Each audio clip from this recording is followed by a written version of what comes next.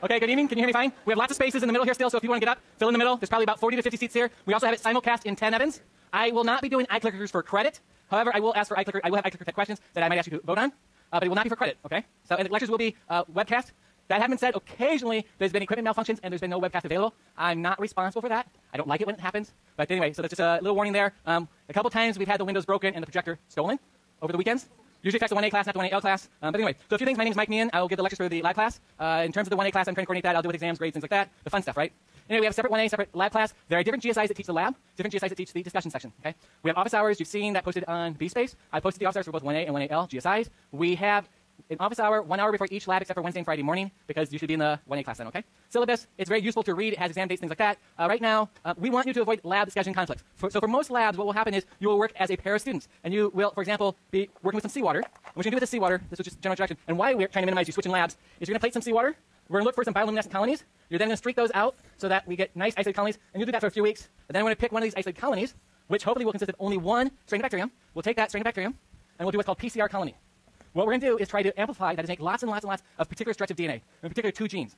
Well, if you're working as a pair and one person has to switch, what happens to the sample? Who gets it? Where does it go? Also, all the labs are completely full. So we don't really have the luxury of saying, sure, we can move you around whenever, okay? That having been said, we know there are times that you're really sick, you have to go see the doctor. We do kind of require that doctor's note, uh, and we can try to reschedule you. But we do labs Tuesday through Friday. Friday afternoon at 5 o'clock, my staff starts tearing down the lab and setting up a completely new lab for Tuesday. So unlike chemistry, we can't have a make a lab at the end of the semester and say, here, do this lab you missed, okay? So um, if you need to do a one-time switch for emergency things like that, there's some information on the syllabus, but please, please try to avoid that, okay? Um, it just makes a lot of difficulties when you do that, all right? Books, ninth edition of Campbell. Uh, people have emailed me, do I need to read it? Uh, it might be helpful, but you really don't need to do many things in life, okay? But there are, that's true. You don't even need to take exams, but there are consequences, okay? Like a score of zero. So that happens I do think it's helpful to read Campbell. Will I ask you a bunch of questions on the lab exam 1 and 2 from Campbell that wasn't covered in lecture or the lab manual? Probably not. I don't think I've ever asked more than two to five points ever on an exam that wasn't covered directly in lecture or the lab exercise, okay? So don't spend a ton of time reading Campbell. Don't read it, reread it six times, and write extensive notes. It's not worth it. Focus instead on the lab lectures, the lab manual, things like that, okay? Various resources to help you. There's the Lab Course Reader. That's a series of lecture slides. It's been on BSpace for about a week now. It's available at replica copy in color. It'll be very useful to have this during lecture. Uh, you can try to recreate everything during lecture, but it's not going to be real easy, okay? I do four per page. Um, gives enough room sometimes to put notes right on this or just do it on blank paper. I know it's expensive because it's in color, okay? Um, but anyway, that's available for you to have. Uh, if you want to do really well, people always say, what can I do to really get that A? We'll go over study skills in a bit, but try to go through these slides and say, what do I think the focus or purpose of this image is? This image, this image, this image, okay? And if you do that, then when you come to lecture, you really will be better prepared, okay? So there's the lab lecture reader, lab exam reader. Um, it might be more than $4 now because I put 100 pages of lab exam 1 in there. So you have about 100 pages of lab exam 1. Five examples, 100 minutes for each one. That's 500 minutes. That's what? Seven, eight, over eight hours worth. Plus usually when students do those, they grade them, and then they go back and study from them. So you easily have 30 to 40 hours worth of work to keep you busy. If at the end people say, gee, can you give me more examples yet? I'll push the six examples, seven examples, eight, but it gets to a point of diminishing returns, okay? And that is, the key thing about those exams, take them in the 100 minutes with a timer, and when time's up, stop. And if you say, oh my god, I only got through half of it, then you'll need to work a little bit on increasing your speed, okay? And I have lots of office hours that GSIs do. I'll go over problems with you, how to do genetics. It's most of the genetics that students have difficulty with. So we're here to help you, okay? Myself, the GSIs, um, been doing this about 20 years. We've had separate lab courses about five. So please take advantage of office hours. As we get closer to exams, I will have more and more of them, okay? Maybe six to eight office hours a week. Know, we'll talk about that.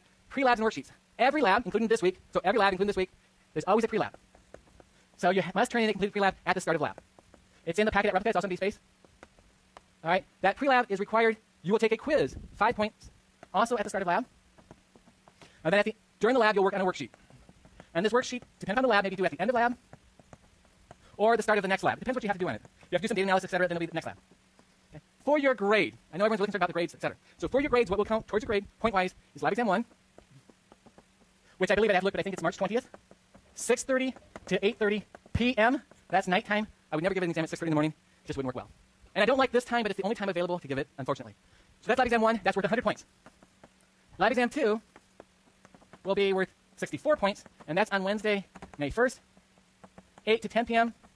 Again, I apologize for the late time. We actually had a much earlier time, but OChem said we need to have time to give our exams, et cetera, et cetera. So we gave up the time that we had in order that OChem could schedule an exam. Or, uh, sorry. But otherwise, it was going to be really difficult, and they wanted to do uh, 9 to 11 p.m. I just didn't think that was fair. So, question. Oh, or maybe there's some I have to double check. So I will double check on this, okay? All right. Um, in part because with OChem, we have switched these times and dates like seven times. So I'll verify that, okay? All right. Um, in part because OChem, Bio 1A, 1B, things like that, large classes, and it's a real struggle to get. So I will verify exactly what time I have on this. I know we've had at least three different times in three different dates, okay? So I'll verify that with you, okay? Um, any questions about that? So this exam is worth 64 points.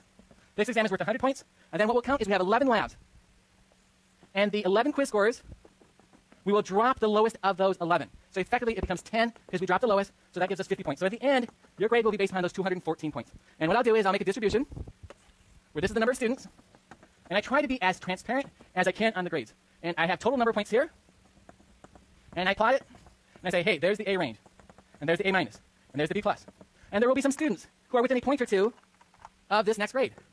And what we do is we consider them as potential bumps. Because I think in fairness, we should look to see, um, should we give them the higher grade? That decision is made by the GSIs who teach lab. And what they will do is they will look at your pre-lab and worksheets, because these are not directly factored into your grade, right? You never saw them count towards the point total. But they'll look at these, they'll look at participation, things like that, and they'll make the judgment call. Is that clear? And the reason we do that is because there's always some groups of students, and I like to give the GSI the opportunity to have the input because they know you typically far better than I do. Any questions about that? Okay. Now, there's one thing that I do about the quiz scores that not many other courses do. Um, I think it's the fairest way to do it. I think I've convinced OCHEM to do it, but um, they may not. It's a lot of work, but this is what I do. I know for a fact that some of the GSIs write really hard quizzes and are really hard graders. And students in those sections will be doing worse on the quizzes than in those sections where GSIs write really easy quizzes and have easy grading. So I think that's really unfair to the students. So I see people shaking their heads. Is that not true? You've never had a class like that? Clearly you've had lots of classes like that. So what I will do is at the end, since all the students take lab exam 1 and 2, I can use that as a weighting factor here for the 25 lab sections.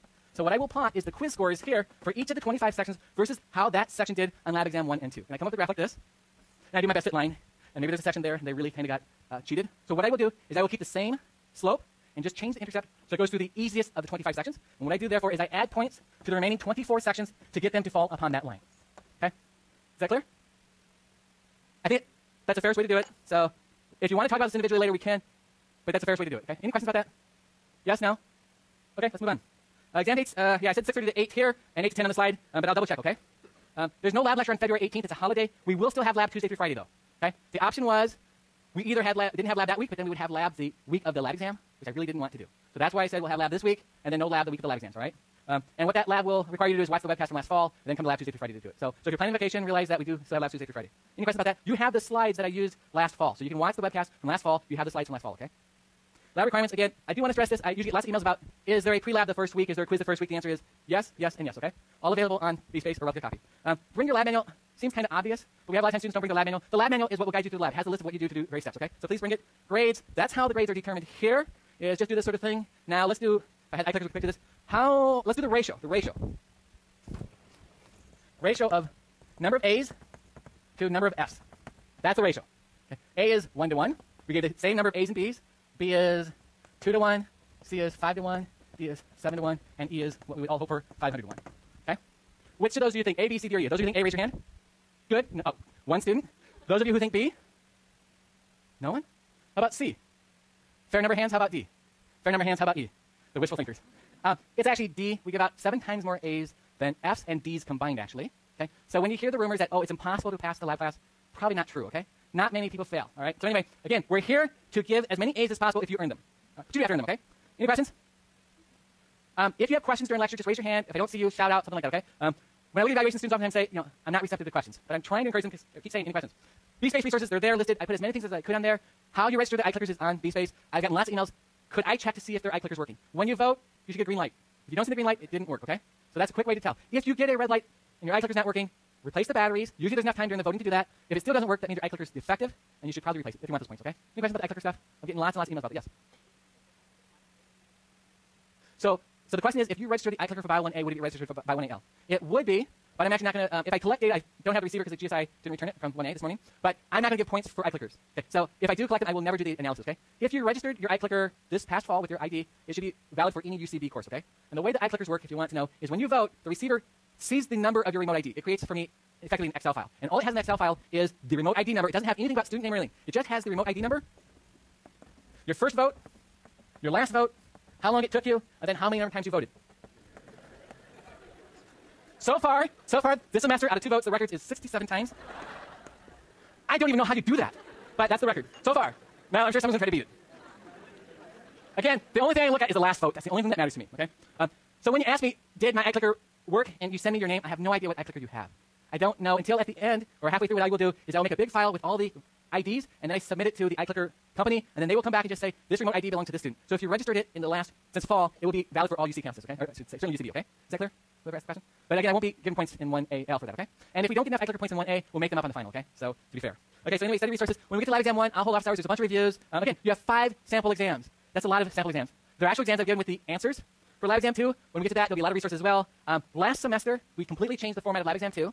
So prior to fall 2012, the lab exam consisted of actual dissections. Students would rotate through. We have 30 stations set up. It'd be minute 45, the timer would go off. You have to rotate to the next station. Pretty stressful. So starting last fall, what it consisted of was one written exam with color images, all the students take the same lab exam. There weren't 22 different lab exams every three hours, etc. So I have one sample in the exam reader from last fall. That's the only one I have because that's the only one I've given. It takes us about 100 hours to shoot the images and make them really high quality. So in your exam reader, when you pick it up from Replica Copy, that's in black and white. You'll see that that's probably good enough for all but three or four questions. But again, to make it best for you, we will actually print in color, so you can go to BSpace and print out in color if you want. Okay? All right. I think there are a couple images that it's helpful to have it in color. All right. Is that clear? Okay. So studying techniques. I've had several students stop by saying, "How can I study? What should I do?" Um, you know, first off, I went over grades. Um, what I think is helpful is be really active in your learning. So take your lecture notes and rewrite them. Try to make a diagram of them. Try to take one day's lecture. It doesn't matter if it's this class, physics, or whatever. Try to take that one day's lecture and synthesize it into one piece of paper. One blank piece of paper. And if you can, try to incorporate some of the key points for some of the figures, one page. Then when you study for the exam, you have 13 pages you're studying from. And if you go and set them on, a table like this, you oftentimes see interconnections that you can't see when you're flipping through 100 pages of notes. The other thing is oftentimes when you're studying 100 pages of notes, you start at the same place each time. So by doing the pages, you can shuffle them around so you start at different locations. What's really helpful is take these 13 pages and make one master sheet. Then when you study for the final, you have one sheet like that. Now, when I was a student, I didn't necessarily do the best on each midterm, but I usually, in almost every class I took, I almost always had this highest score on the comprehensive exam. And in part because I did this sort of approach, which allowed me to see how it all integrated. Whether it was econ, math, or whatever, it usually worked well for me. Now, it may not work for you. I'm only giving general study advice. So, but I do think it's very helpful to do those diagrams, things like that. If you look in the lab manual, I have two pages on that. You'll see one diagram in there. I think it's page four or six. I've taken the lecture exam one and one A before. I've gotten 80% on that exam from that one page, that one set of diagrams. But I made them, conveys a lot more information. If you make them, it will convey a lot more information. Form study groups. I think if he explains material to her and she takes a different topic and explains it to him, it's really useful. So when you have those study groups, be very active in discussing materials. Okay, try to mix up your study groups just a little bit. Maybe not your drinking buddies or that sort of thing. Um, one semester, I had five students come in, and they all said, you know, our study groups were really positive, but you know, they didn't do so well. So I knew that each of these five students got Fs on the exam.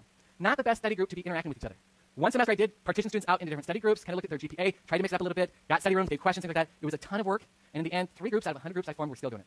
And that was for about over 100 hours of work on my part. So I think it's better, form your study groups on your own. They'll probably last longer, okay? Office hours, I have three office hours a week. Again, as we get closer exams, I'll have more. Every exam in the exam has the answers to it with explanations, okay?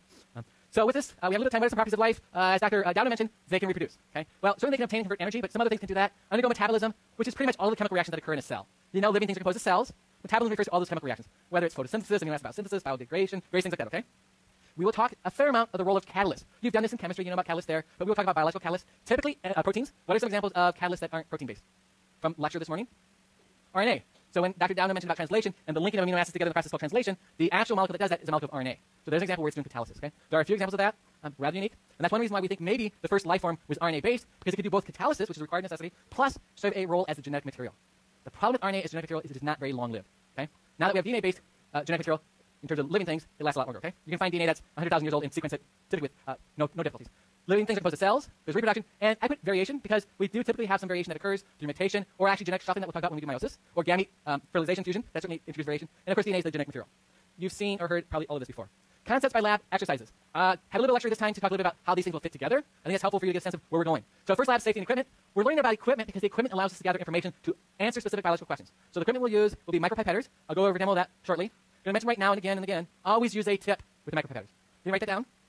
Always use a tip, okay? Um, that allows us to get quantities as small as uh, one microliter pretty accurately, okay? So we get small volumes, we can do specific reactions. When we do the PCR reaction, we will be using volumes as small as one microliter to do, to do the reaction. If you accidentally take 10 instead of one, it's not going to work, okay? So you want to know how to use them appropriately, so we'll go over that. Uh, we will have a way that you can actually test your skills, because you can weigh your samples. You know, if it was a mill, it should weigh a gram. If it's 100 microliters, it should weigh 0.1 grams. So you can actually test how good you are with micropipetters. You'll learn how to use a spectrophotometer. Now, uh, in Chem 1A, have they started using the SpectroVis spectrophotometers? They did? Okay, great. We work with them on that as well. That's the specs we use. So we're trying to get some classes that have some cohesiveness so that once set of equipment you use, you learn to use it again in another class. So you use specs to do an absorption spectrum to figure out concentrations of things and to measure reaction rates. We talked about catalysis and the role of you know, enzymes. We have a specific lab on that. So we will have an enzyme lab and you use the spec to measure the rates. So that's why we have to learn about equipment. We'll use microscopes to look at cells repeatedly. So it's really important you learn how to use that microscope, okay? So we'll focus this lab on the uh, compound microscope, but later we'll use dissecting. This is that Vibrio isolation, the seawater, streaking it to make sure we end up with a